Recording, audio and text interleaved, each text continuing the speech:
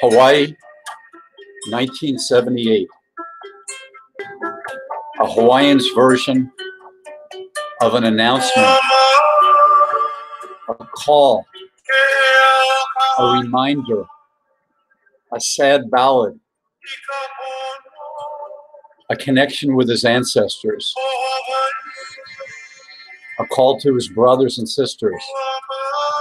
It's a cry, it's an incredibly emotional cry of the end of a way of life, not just the physical, geographical place.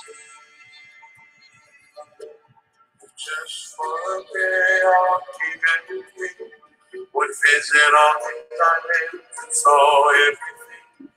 How would they feel about the changes of our land?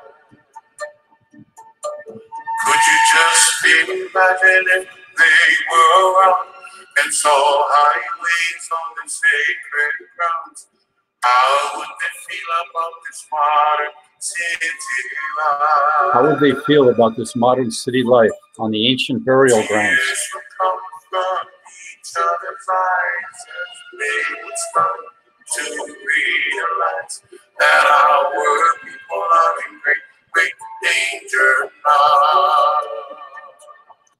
So the people are in great, great danger now. so uh, in 2017, I had the call to leave the place I was living. Let me think if it was 2016. 2016. I had the call to leave where I was living in Santa Barbara, California, because it was becoming too challenging to live.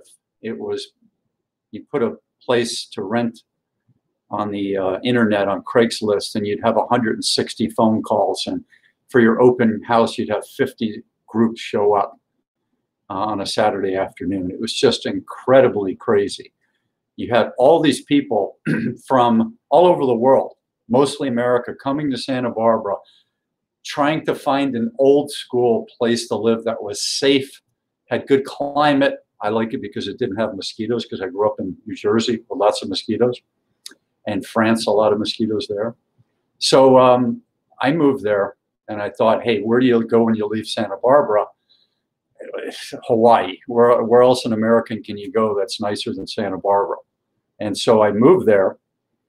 And I soon to realize that Santa Barbara was still with me. It was very difficult to find a place to live. It was very difficult to find work and connections uh, through networking, whatever you want to do. It's very challenging. And there was a lot of difference in uh, scales of, of income and assets. Uh, and I'll explain that in this video, what I found. So first I'll start off with a little story about Hawaii. In the olden days, in the uh, Renaissance time, the English were in Hawaii. I think they were there for about 100 years. And this video, I haven't read up on Hawaiian history like I knew it in 2016 and 17, but I'm going to give you my broad sweeps of recollections on the history that I read and studied at that time. So the English were there for um, a period of time. It might have been a century if you added it up, all the years they were there, maybe 100 years. And they are seen as not having done a lot of damage and being somewhat, not perfect, but somewhat good stewards, uh, bringing their modern ways to Hawaii and somewhat of a co cooperative situation with the Hawaiian Islanders. So not a complete positive, but certainly not a complete negative. Positive, if you had a clash of cultures, it's about as positive as you, as you could imagine for a Renaissance time with a very powerful, advanced place, advanced in terms of technology and arm, armament and shipping and all these types of things from the English, uh, the, the British coming to the Hawaiian Islands. And then um, when they left and the Hawaiians uh, were vulnerable, you know, these very big, strong people uh, being vulnerable, you uh, wonder what's going to fill the void. And you know, they're a culture that, yeah, there was warfare and there was some domination and there were these types of things. But there was also this aloha spirit. You're in this island paradise where there's plenty of food. Um, I would guess if you looked at the history of Hawaii from the last 1,000 years, very seldomly would you find a food shortage. All kinds of fish. They knew how to farm fish in these fish ponds where the fish come in and they feed them and they can't get through the, the gate on the way out because they're too big. So they could just walk down and pick dinner right out of the fish pond with a net or with their hand, just walk into the fish pond and there's dinner.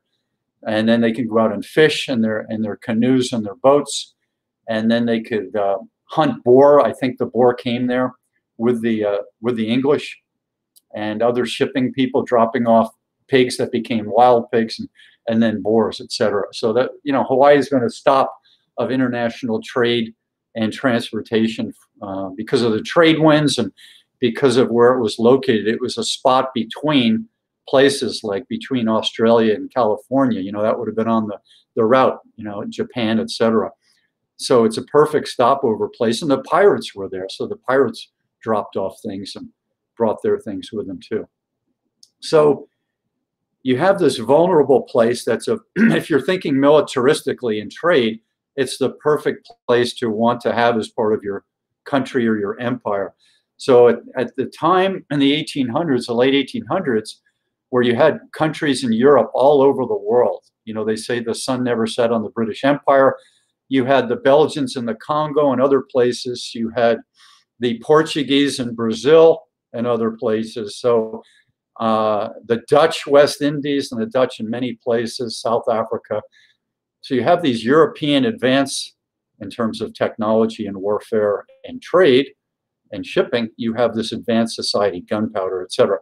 And so they go to different places and they uh, they set up their trade and they set up their their way to buy influence and and they do these things and not always a nice way. You know, if you look at the just pick the British Empire and what they did with India and the later country of Pakistan, it's it's pretty mean and nasty stuff. Um, lining up people and shooting them, and uh, treating them uh, as far lesser people, and paying off the higher ups to uh, to to gain power influence. So, who's going to do this to Hawaii? That's the question.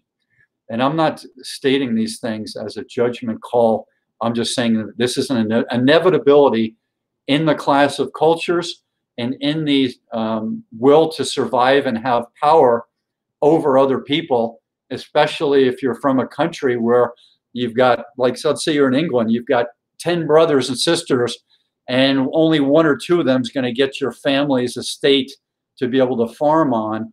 And the rest of you have to marry off or join the military or join the clergy or open up a business. Well, one or two brothers may want to take off and go to Hawaii in the 1800s, 1700s, 1600s, what have you, and set up shop and be their own little prince in a place where people don't know what they know and they don't come from this uh, amassing power type of a culture like the uh, the Europeans were for um, more than a, a few millennia. So somebody has to go to Hawaii and figure out what they're going to do with Hawaii. That's just the way the history is going to happen.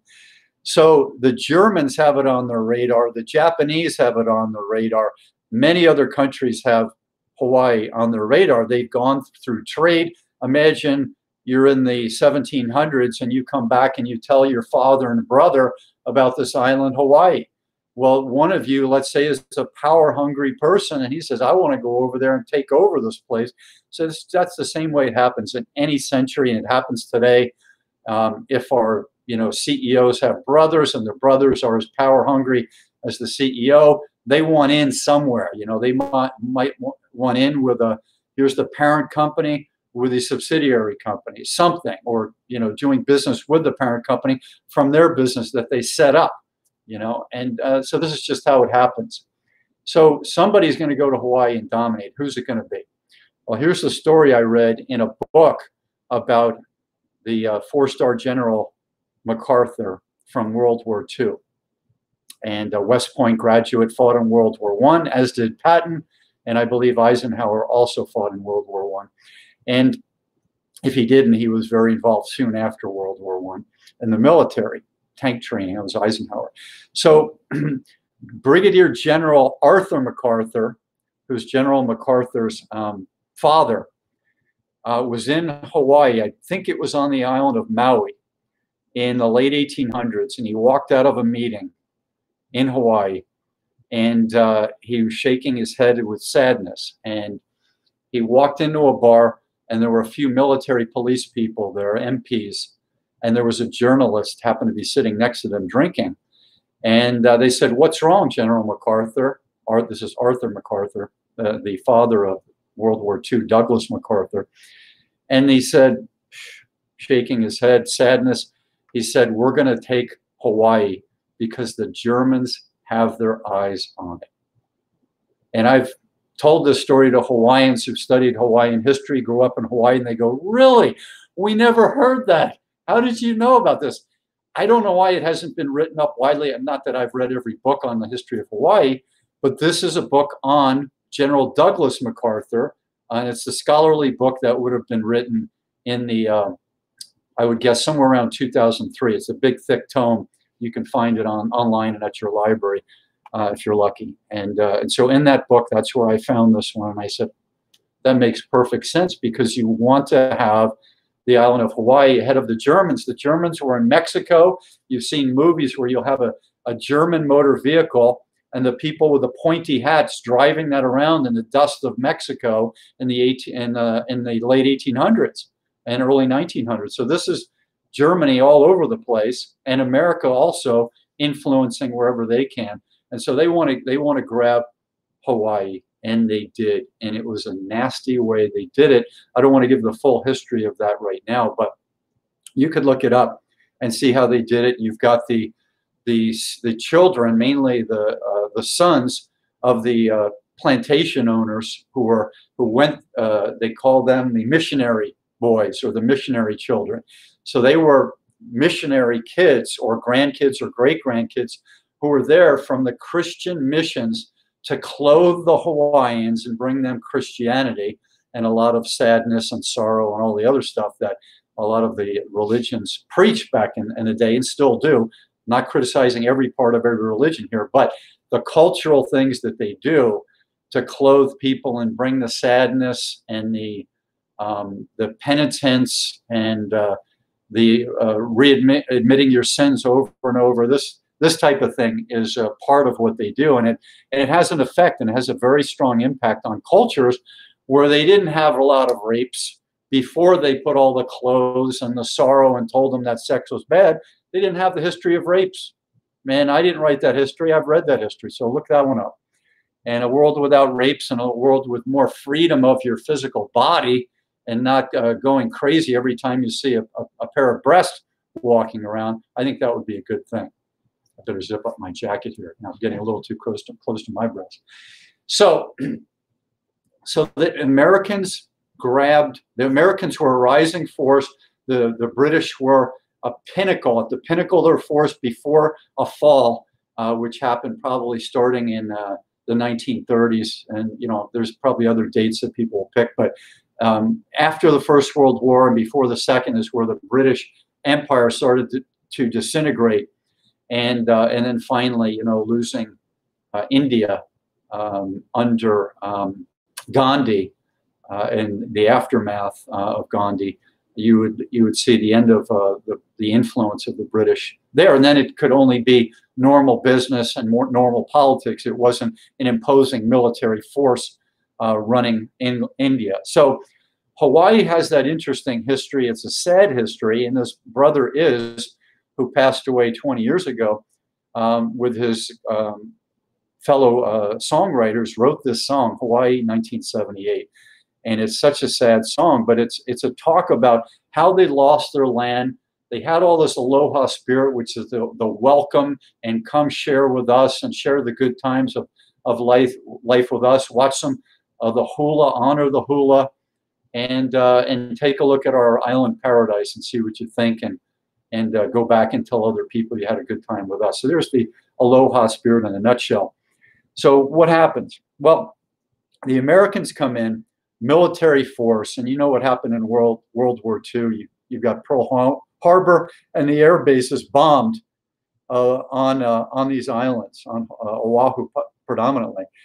But if you're on Oahu and you go over to Kaneohe, the Japanese had a plan, I believe, from the 1930s through the uh, 19 early 40s, where they were going to invade Kaneohe with ships and with planes and take Hawaii uh, from the Americans. Can you imagine that? So that was this was back in the 1930s and 40s, and then you had um, Pearl Harbor, and then later uh, the battles with the Japanese and uh, Hiroshima and Nagasaki. So there were Asian people coming to Hawaii starting in uh, the 1700s. Asian people, workers, working on in farming, working in shipping, working in the fish trade, all these types of things, and uh, hard jobs. And these people had to grin and bear it. So you have that influence in Hawaii. You have the native Hawaiians, which are a mix of, of many different people, and they're not all big. The history of, of the giant people are more Samoa and Tonga, not as much Hawaii. Uh, this, there were big Hawaiians, but there are also a lot of Hawaiians who are who are smaller people, more like uh, other Asian people. And so these the Hawaiians are here, Americans are here, uh, some of the uh, vestiges of the British people are there, and then all kinds of international people. And then the Asians, the Chinese, the Japanese coming there to work in times of scarcity throughout history. So then later on, after uh, the Second World War, you have this incredible economic boom. And then you have tourism. So if you look at tourism back uh, pre-World War II, it was more local tourism. You had, you know, with the automobile, let's say in America, you had families that might have driven eight to 10 hours to go on a trip, but normally two or three uh, before World War II. Not, not a lot of air travel for the regular people before World War II. And then after that, the air travel starts to pick up. So it becomes more sophisticated. Oil and gases are very cheap uh, compared to uh, income, even though income was low. And people started to travel by airplane. And then the movies that came out later uh, in the 1950s, 60s, and 70s that showed Hawaii, uh, Blue Hawaii with Elvis. And the funny story there is you had all these young people in their 20s, and it was a movie called Blue Hawaii because of the Blue Pacific. But they, the people who worked on the movie said it actually was Blue Hawaii because all these 20 year old people, I think Elvis was in this one, were partying all night long and drinking and uh, marijuana and sex until five or seven in the morning. And then they go to get a shower and they'd show up uh, at seven or eight in the morning to be on the movie set. So they were blue. That's the joke of these 20 year old people. Blue Hawaii, they were actually blue people that had to be made up to put color back on their face because they were exhausted from partying all the time. So you have these Asians moving there. Americans moving there. And then eventually, with affluence, you start to have these wealthy people that need a place to live. So these condominiums and these apartments start going up in Waikiki, in Maui, in uh, Kauai to a certain extent. And you have these giant things going up. At the same time, throughout uh, the um, domination by the, uh, the, the whites from America, you have the taking of the land from the Hawaiians. So before that, you had the missionary kids buying land and taking land from the Hawaiians, right? Because the Hawaiians didn't have a, a monetary system and a lending system, but the uh, the missionary kids and and the, uh, the industrialists did, and they they know how to do that, and they know how to pay people off in the uh, in the local um, trust departments at banks and in the political um, uh, municipal um, rights to land departments. Um, ¿Cómo se llama lo, los derechos de la, de la tierra en la ciudad municipal? Um, the local, not escrow and title, the yeah, the municipal title office, right? The property property ownership offices. So there was a lot of the stealing of the Hawaiians' land that were in a family's uh, possessions for a long time. You know, whether it was 50 years, 80 years, what have you, it was in their family. Maybe it was in there for 600 years. Who knows? So that land was much of it was taken from the Hawaiians by people with shady deals and and uh, underhanded acts. And so that's part of this culture that you go to now in 2020. And there's unrest about that. You don't meet people who grew up in, in a, on a farm with a house and they were kicked off back in the 60s, 70s, or 80s um, fraudulently to a certain degree or a complete degree by people with money and influence. And it's, it's really sad. So you feel that from the Hawaiians.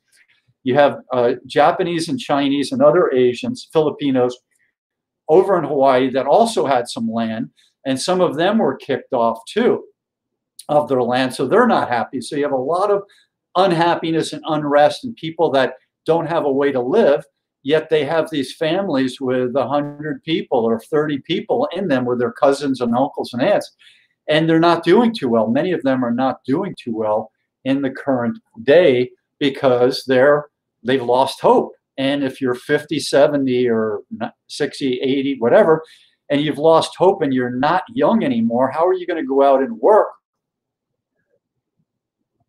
to pay for your insurance your rent, your food, all the normal expenses. So this is what's been going on. And me being a very sensitive person and a sentimentalist, I feel it. And it's it's hard. It's hard on the system to feel this over in Hawaii. Then you have the new people, the aff, people suffering from affluenza, affluent people. So you're walking down the street, a person like me, whether I've got sunglasses and a big sun, want to get a nod occasionally from people that I'm passing by. The new Asians, not all of them, but many of them, because of their culture, Korea, Japan, and China, and other Asian countries, will walk like this. There'll be their two kids in tow, and they'll be walking and uh, maybe holding hands with the kids, and they'll be walking by and they won't even look at you. So, how do you connect with somebody who doesn't look at you? And am I criticizing their culture? I am, and I'll tell you why. Their culture's history is from being overpopulated. That's one reason they don't look at you because if you're overpopulated, you can't connect with everybody. That's one reason they do it. Japan, especially, overpopulated for hundreds of years, according to an agrarian society's history. Way too many people. Um, so, overpopulation. Second on the list is you have all these different classes of people. And so, if you don't know a class of person by their dress, um, you don't you certainly don't want to make eye contact with them and you don't want to acknowledge them and if you do know their class and they're higher than you you're not supposed to look them in the eye so this is all old bullshit you don't need that part of your culture anymore and i'm american and i'm the first to admit we have many problems in our culture one is the fake smile i just got a call from a friend in france yesterday she told me about this woman she's friends with who's american and she's got that fake american smile it's like, oh, everything's fine. Oh, it's good to see you. It's phony. It's not always phony, but there's a lot of that phony smile in America. The glad handing, which means, hi, how you doing, Stan? Good to see you. All the wife and kids, all this kind of stuff. That's the American phoniness. You can be cordial, you can be nice, but you don't have to roll your head back and smile and be happy all the time. Men and women do it, but it's very common in certain females that go to Europe. The, uh, the Europeans pick this up, and I'm sure they pick it up in Asia, the phony smile. It's overdone. We don't need that. But these Asian people, so you got the overpopulation, you've got the different class structures, and um, there was one more reason for the, uh, oh, during the Mao Revolution, you have the communists controlling everything, and you certainly don't want your neighbors to know what you're doing and your, what your finances are, what your food supplies are, because they want to take your property because the small plot farmers in China under Mao are starving. They have to feed all of the hierarchy of all the government bureaucrats in the big cities and the big towns.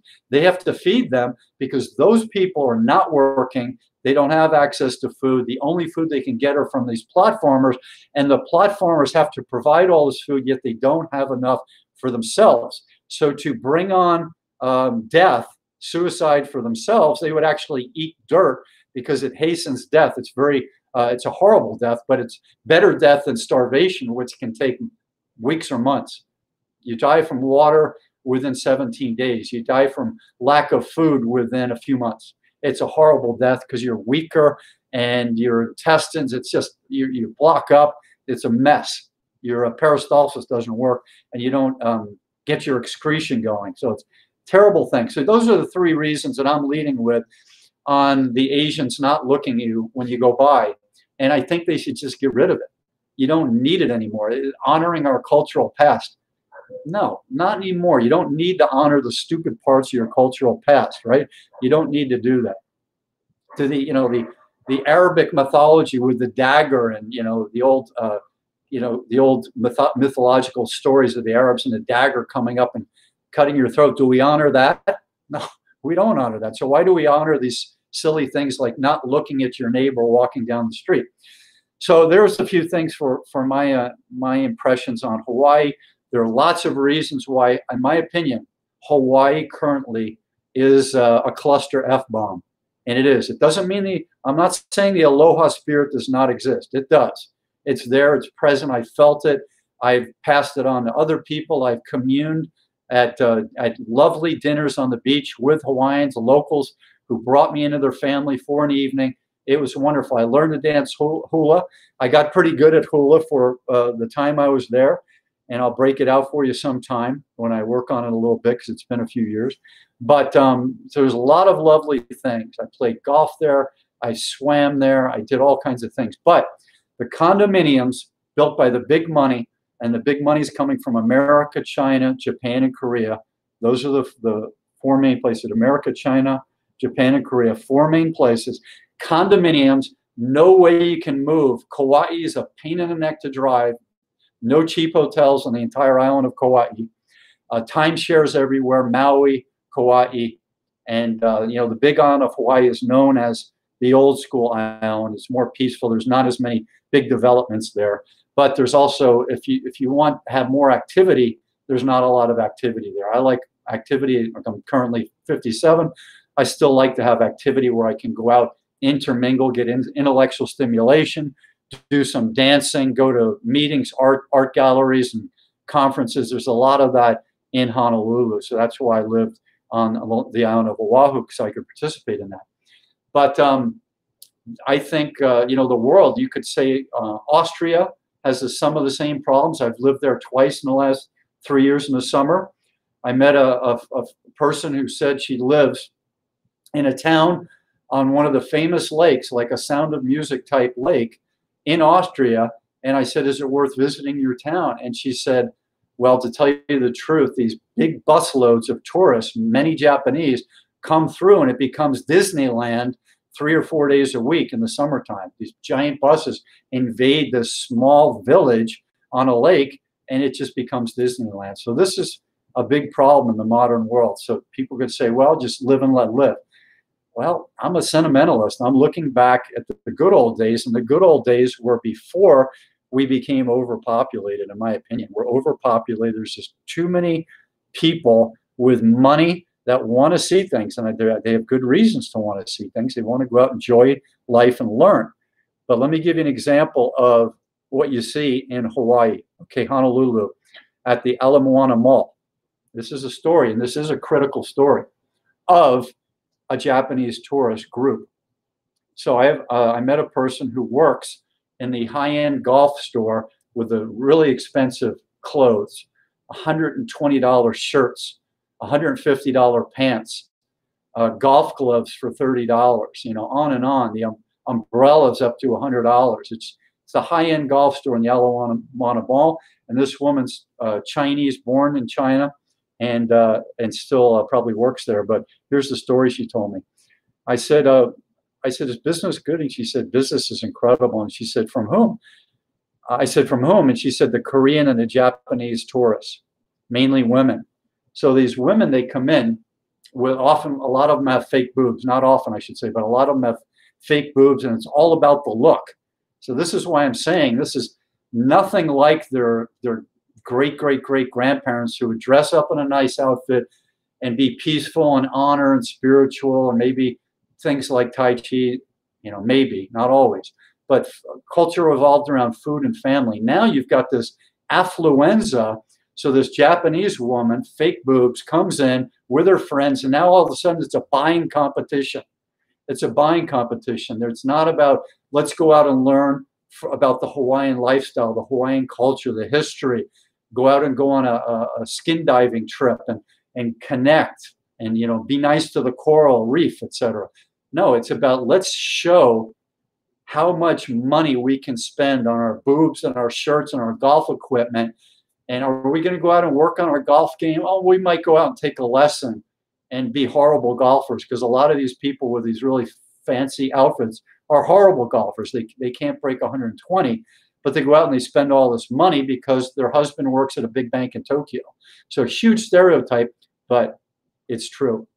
I guarantee it. It's true. I've seen it. I've lived there for almost two years out of three years. I've seen it over and over, and I've talked to these people. I've gone up and talked to them. So this is it. They go in and they buy it. And I said, so when this this little group of three Japanese women in their 30s came in to buy stuff, what did they buy? Oh, this, that, and they named all the things they bought. I said, what is the average ticket? Like, what did they spend? Take a guess what they spend. This is in 2017. $2,000 in about 40 minutes. $2,000 in 40 minutes. Do American people do that? Yes, they do. Is it a part of a big part of our culture? Buying that kind of stuff and being a rotten golfer and all about the show? In LA and Newport Beach, it's a huge part of the culture. On Long Island, in Manhattan, huge part of the culture. It's probably in Chicago, it's probably in Minneapolis. We're seeing this all over. However, it's a significant part per capita of the wealthy Japanese, Korean tourists, and I imagine Chinese tourists too, because they've been going through a period of affluenza uh, the last 10 years, 20 years. So all these countries are suffering from this. So what's the moral of the story? I don't know, keep living and learning and appreciating the authentic, good history. Not all of Hawaii's history is good, believe me. You can look that up. It's not all pretty.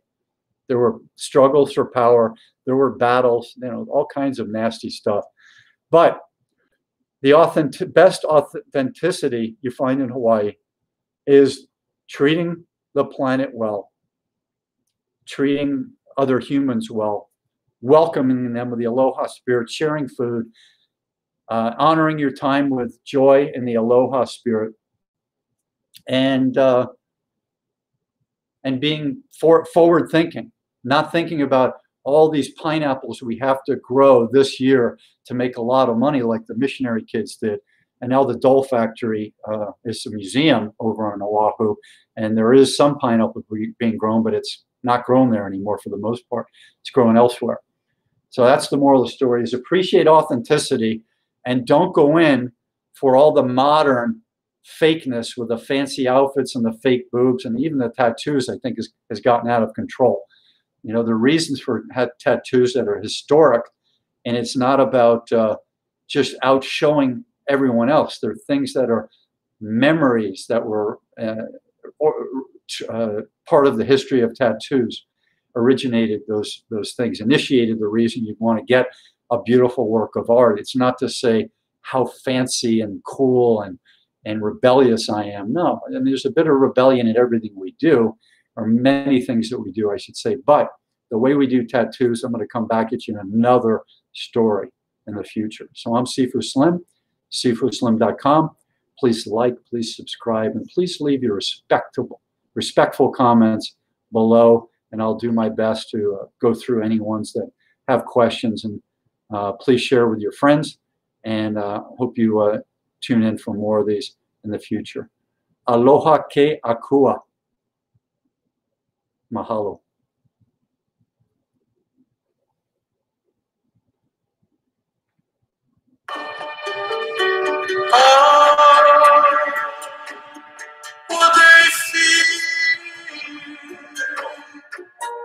Would their smiles be content? that and cry. for the lost, cry for the people, cry for the land that was taken